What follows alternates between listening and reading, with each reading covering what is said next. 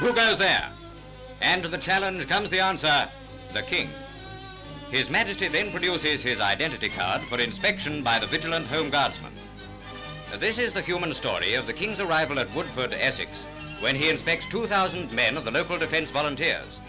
Received by the zone commander, the Lord Lieutenant of the county, and the GOC London District, His Majesty witnesses many phases of Home Guard training. Over 80% of these volunteers are ex-servicemen and therefore well able to give a good account of themselves.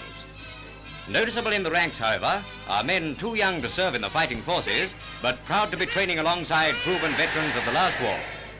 This enthusiastic citizen army comes under the command of Lieutenant General Sir Alan Brooke, the new C-in-C of the Home Forces. Perhaps one of the most important responsibilities of the Commander-in-Chief will be that of coastal defense, pictures of which we now show you for the first time. From concrete and steel emplacements, the guns of Britain point a warning to the European gangsters. These pictures give only a small idea of how the Coastal Defense Force will deal with an invader. We leave it to the guns to tell their story in more eloquent language than words.